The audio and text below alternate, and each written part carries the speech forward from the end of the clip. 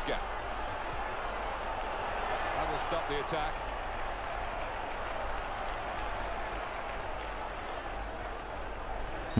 Could be a yellow card here for that foul. As for the home side, slight change in defensive uh, emphasis here. Trying to get the opposition caught offside. Just trying to squeeze up from the back, maybe compress the midfield as well. Alan, your view on the attempt at goal? Well, he's a long, long way out, and he's just cleared the crossbar. but I think to pass it to Zeke. And